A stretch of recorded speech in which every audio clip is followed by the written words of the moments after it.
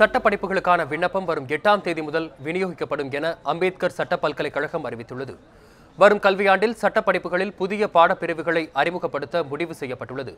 இதன்படி ஐந்தாண்டு படிப்பில் நான்கு புதிய பாடப்பிரிவுகளும் மூன்றாண்டு படிப்பில் ஒரு பாடப்பிரிவும் அறிமுகப்படுத்தப்பட உள்ளன இதனால் சட்டப்படிப்பில் கூடுதலாக அறுநூற்று அறுபது இடங்கள் உருவாகி இருப்பதாகவும் அம்பேத்கர் சட்ட பல்கலைக்கழக துணைவேந்தர் வணங்காமுடி தெரிவித்தார்.